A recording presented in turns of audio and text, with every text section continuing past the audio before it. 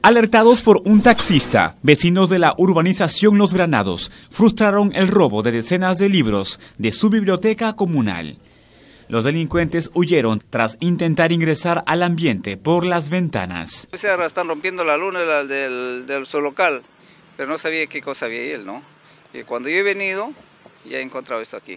Más vecinos me dijeron, vecino Becerra, pero ya han, se han corrido, ¿quién será? Desconocemos. Pero en realidad ellos han venido a tumbar la, la, ventana, a sacar los libros. En el fondo es eso, pues, ¿no? El alcalde vecinal, Juan Becerra, informó que el local desde hace un año que está cerrado por disposición de la Municipalidad Provincial de Trujillo. Ah, para esa biblioteca hubo una inversión enorme. Jaranas, todo, la inauguración. Ahora se ve vacía la biblioteca. No, es el que tenía la llave era la que estaba acá en la biblioteca y la alcaldesa Chimú. Son los únicos.